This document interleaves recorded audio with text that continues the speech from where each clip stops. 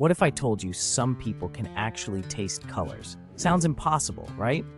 But get this, there's a real condition called synesthesia, where senses get mixed together in the brain.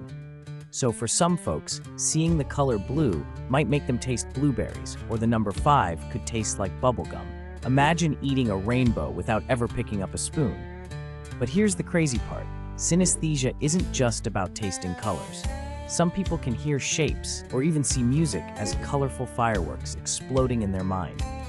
It's like their brains have secret superpowers, blending senses in ways most of us can only dream about.